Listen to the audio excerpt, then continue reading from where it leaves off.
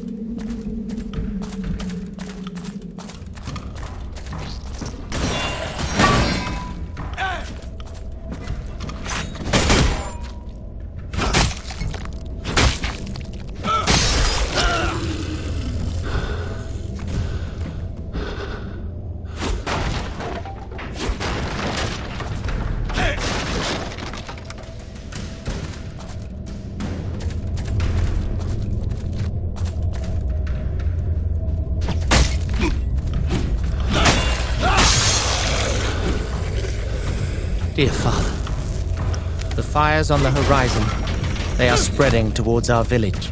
I beg you, be careful. Something evil is happening.